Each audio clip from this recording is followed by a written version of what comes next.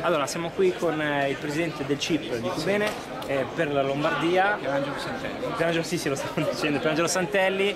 Insomma, grande fenomeno quello del, del CIP degli ultimi anni, grazie anche all'ultimo Olimpiadi che ha dato lustro e importanza alla manifestazione, però è fondamentale quello che voi fate a livello locale, questa è una cosa che va detta. Certo, beh, voglio dire, voglio, tanto per farci una premessa, che forse nessuno lo sa, ma le Paralimpiadi a Londra hanno avuto più pubblico delle Olimpiadi per quanto riguarda, anche perché la cultura che c'è in Inghilterra è nettamente superiore a quella che abbiamo noi in Italia.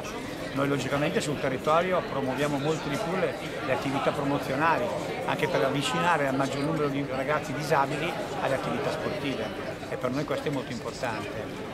Quali sono gli obiettivi che vi siete prefissi per quello che riguarda un anno importante per Milano Lombardia che è Expo? Allora noi come Expo abbiamo, stiamo preparando un portale, stiamo preparando un progetto, poi faremo un'integrazione con il CONI che lo ha, eh, lo ha, programmato e realizzato la professoressa Cosalini e stiamo realizzando delle cittadelle dello sport dove porteremo tutte le discipline integrate, sport normodotattico, sport per disabili, in sette località della Lombardia che saranno Lovere, Salò, Como, Sondrio, Milano, Mantova e Angela.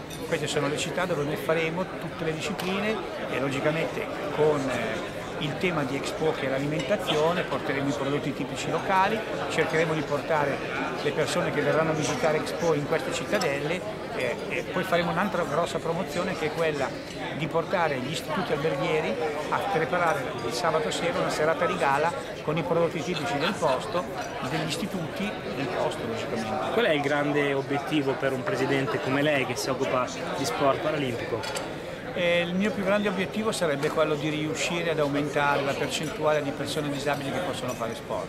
In questo momento pensate che solamente il 5% delle persone disabili fanno attività sportiva.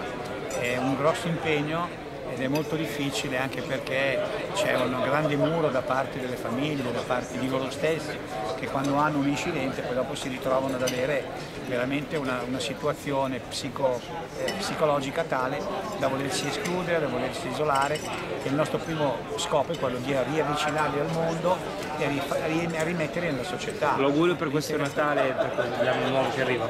È di portare il numero del 5% al 10%.